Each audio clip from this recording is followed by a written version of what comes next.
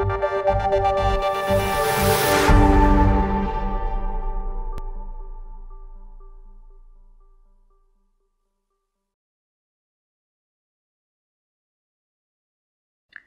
everyone. Today in our series of Docplexus KOL interviews, we have with us Dr. MC Misra, who is the director of AIIMS New Delhi. Dr. Misra is known for the development of first ever trauma center in South Asia. Among many awards conferred to him, Dr. Misra has received the prestigious BC Roy Award and is the recipient of various fellowships from many national and international institutions. Thank you, sir, for this interview. Thank you. Dr. Misra, there has been a lot of discussion about implementation of uniform medical education in the country and there is a lot of variation, different courses that are being taught. So, what is your opinion on this? Yeah, the country has uh, almost 400 plus medical schools and uh, naturally the standards are variable from state to state, from medical college to medical college, from one institution to other institution and uh, there is a huge need for standardization of undergraduate as well as postgraduate medical education. And uh, because of the variable standards, uh, that is uh, important. Now, when we say that, then uh, uh, it is also pertinent to mention that we have students are admitted in so far they were in government medical colleges by way of uh, entrance examination. Uh, but uh, in private colleges were holding their own examination system. So, what has happened now by the implementation of NEET, uh, you must have heard about NEET, the National Eligibility cum Entrance Test, uh, which Supreme Court has uh, make it mandatory for private colleges also. It will definitely bring about uniformity in at least eligibility for these students to come into medical colleges. And I am sure when uh, the students getting admitted for undergraduate course through a common entrance, then they, they automatically they are, there is a certain level already achieved and further outcome of this for postgraduate education would further improve. So, I think it is a need of the hour that NEET is implemented and it has been implemented from this year for private colleges. Uh, certain state governments had asked for exemption this year and they will also be on board next year. So, I think it is a it is a good step in the right direction. But only few government organizations are performing transplants in India. So, what about training of surgeons in this area and are there any specific courses to get training in this area?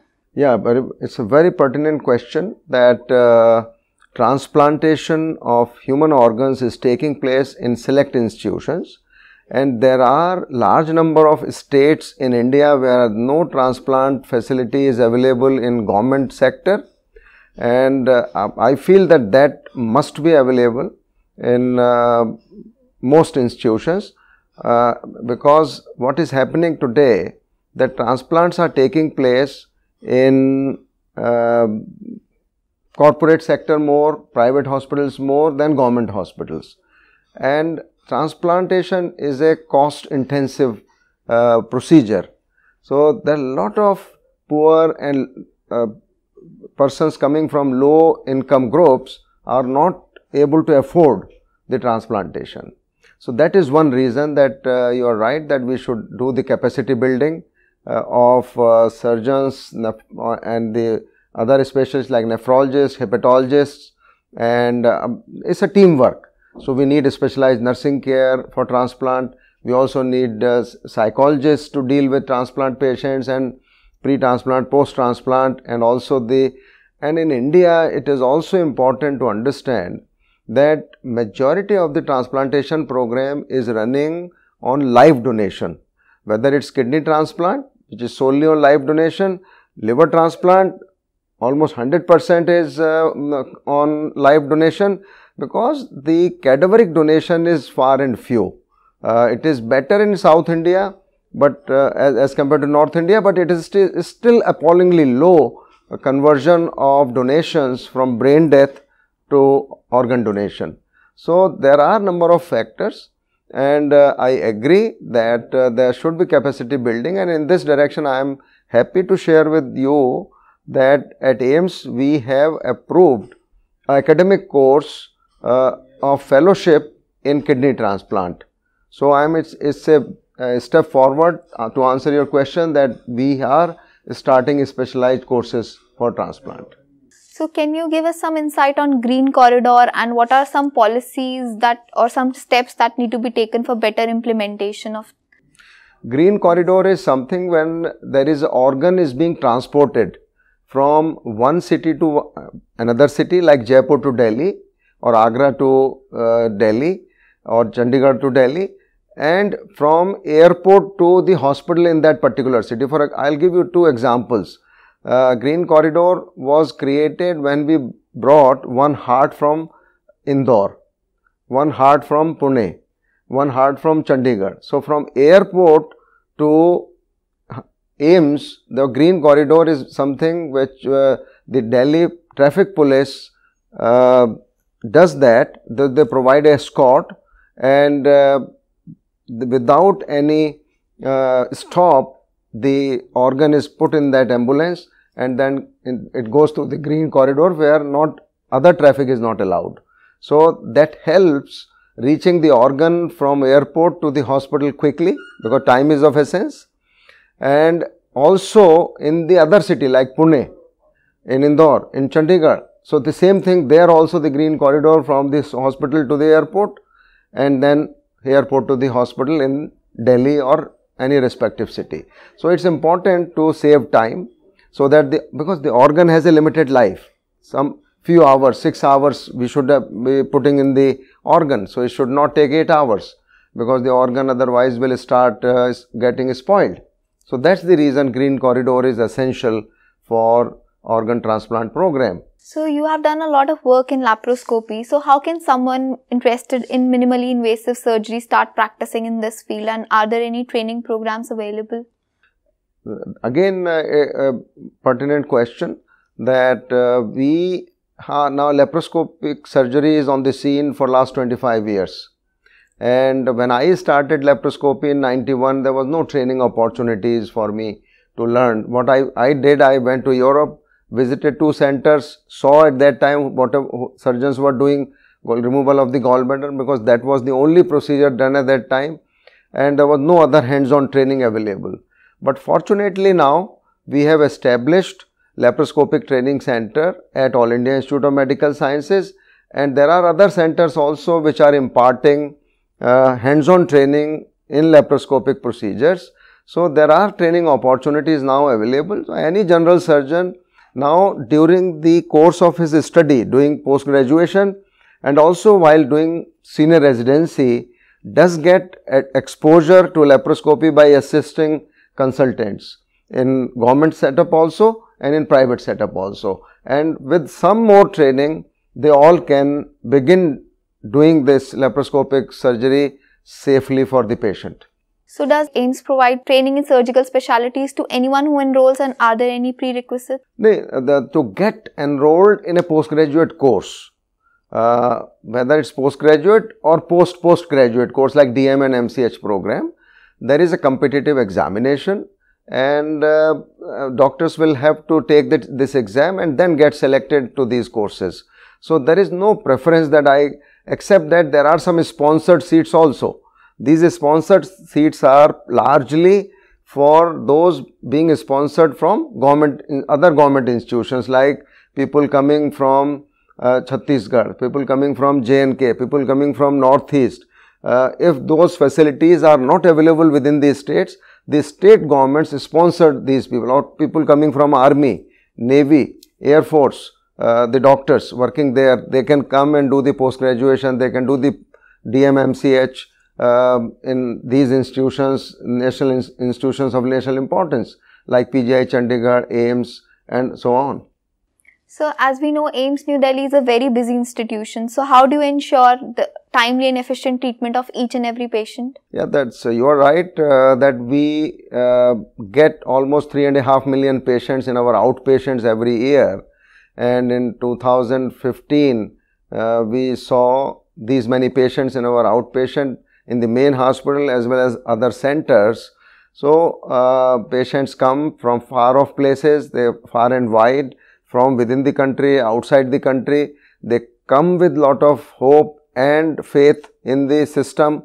Uh, so, what our job is to make the experience of these patients friendly in the hospital, at least they should get the consultation uh, without much delay. Towards uh, achieving this, what we have done, we have now developed an online registration system uh, and almost 35 lakhs patients have already benefited by taking online appointment uh, for consultation. And what I feel the kind of uh, infrastructure now is at place at All India Institute, uh, what we call, we have created a patient reception center and there are separate queues for those who have taken prior appointment. So, there is a fast track for them and they can come and immediately they can get the card and whatever and they go in the respective OPDs. So, what patient comes and they are made to sit in the patient reception center. Then from there very quickly the patient uh, patients are moved to waiting halls, various waiting halls which have been created for medical OPD, pediatric OPD and all other OPDs and then in batches they are taken to the respective floor of the outpatient. So, they need not to wait and crowd outside the consultation chambers which used to happen before. So, we have got very encouraging feedback from our patients and patients not coming from any section of society. And uh, even one of my friend told me that he took a cab from uh, New Delhi railway station to come to me and on way he was he mentioned that the things have uh, significantly improved at AIIMS and this is what they have done. So, we feel very satisfied and happy that whatever we are doing for the benefit of the population at large is working and people are appreciating it. So, it is a great initiative and I think a lot of other government hospitals should follow it. Absolutely. The central government um, and Ministry of Health has uh, initiated to roll this out in other central government hospitals. So, we are at it. So, you have been associated with AIIMS for quite some time now, actually quite a long time now. Almost precisely 36 years. So, can you narrate some of your experience of working at AIIMS? I can only say that I have not seen an institution like this neither in India nor abroad where you patients come with so much uh, hope, faith and trust. So, what our challenge is to keep maintaining this for our patients. And the beauty of AIIMS, I would say is what I have seen over a period of time that the same expert or same faculty looks after the prime minister of the country and a common man from the street. So, this kind of a system where do you get? Uh, and this is a fantastic system that anybody who doesn't have money will also get the same quality of treatment uh, and the one who can afford also gets the same quality of treatment. You get, get a fair opinion uh, about your problem.